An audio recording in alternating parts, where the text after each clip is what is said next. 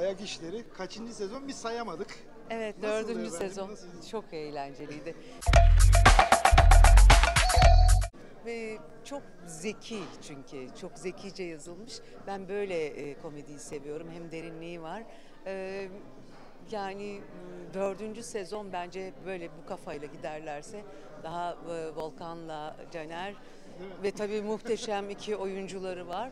Bence böyle devam eder. Çok şahane bir iş. Efendim, Yaz sizin için nasıl geçti? Yaz e, güzel geçti. E, biraz böyle yurt dışı işte e, Kore, Japonya e, gezdik tozduk artık geldik çalışıyoruz. Bu yaz Türkiye 1200 liralık lahmacunu konuştu. Yani bilmiyorum tadına bakabildiniz mi daha Ben önce? zaten lahmacun pek yiyemiyorum gluten tüketemediğim için rahatsızlığım nedeniyle 1200 bakamadım. Lahmacunun içinde ne olabilir? Yani bilemiyorum ama yani lahmacuna gelince kadar her şey o kadar pahalı ki zaten e, her şey çok pahalı her geçen günde artıyor. Şey söyleyeceğim, çok özür dileyerek 21. yüzyılda bunu konuşmaktan utanıyorum ama Narin Türkiye'nin gündeminde yani siz birkaç cümle söylemek isteseniz neler söylersiniz? Şimdi aslında bu konuda konuşula, konuşulacak çok şey var. Ee, narin sadece şu anda narin var, Leyla var, daha neler var.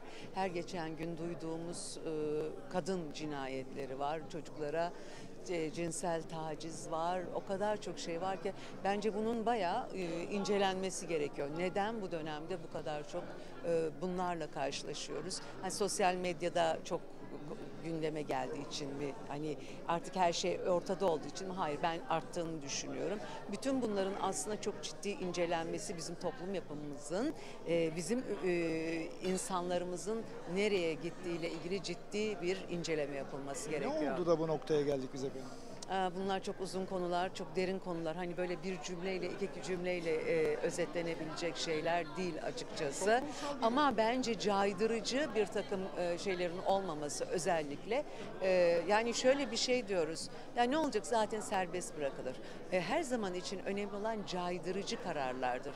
Caydırıcı olduğu zaman çekinir yapmaktan korkar bunu kişi. Ama e, iki gün sonra, üç gün sonra bunlar bırakılacaksa, rahat rahat gezeceklerse e, tabii ki ama ne olacak der, e, çocukları öldürüyorlar, hayvanları öldürüyorlar, tecavüz ediyorlar, kadınları öldürüyorlar, taciz ediyorlar ve böyle bir şeyde yaşıyoruz yani. Caydırıcı cezaların içine idam cezasını da katabilir miyiz? Ben idam cezasına karşıyım. Ee, kesinlikle böyle bir şeyi onaylamıyorum. Çünkü e, bu o kadar e, oynak bir zemin ki bunun nereye gidebileceği belli değil. Ve ben idam cezası istiyorum diyenleri asla ve asla anlayamıyorum. Ne diyorsunuz siz? Yani bence çok daha caydırıcı şeyler uygulanmalı ama e, bu e, idam e, nasıl kullanılır, nereye gider orada ciddi soru işaretleri var çünkü. Daha mutlu günlerde daha güzel şeyler konuşabilmek Umarım, umarım. ümidiyle. Yani şurada şimdi çok güzel arkadaşlarımız çok güzel işler yapmışlar. Çok güzel bir iş yapmışlar. Bence harika bir sezon geliyor. İlk iki bölüm zaten gümbür gümbür. Ben her zaman çok beğeniyordum. Ee, ne güzel güzel bir şeyler izledik. En azından böyle e, anlar bizi kurtarıyor. Bunlara tutunuyoruz Çok zaten. teşekkür efendim. Sağ olun.